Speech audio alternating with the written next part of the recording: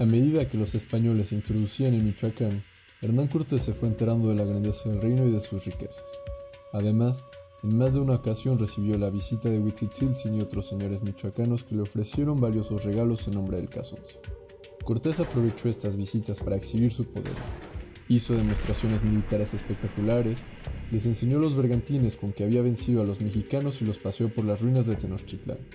De paso, también averiguó si era posible llegar al Océano Pacífico desde su tierra.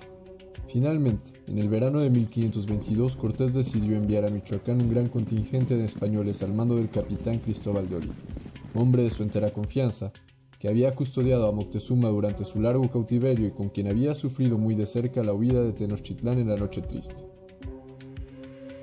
De treinta y tantos años, alto, fornido, bien parecido y algo rubio, según lo describió Bernal Díaz del Castillo, Olida era valiente, franco y de buena conversación, pero tenía un defecto, quería mandar más que ser mandado.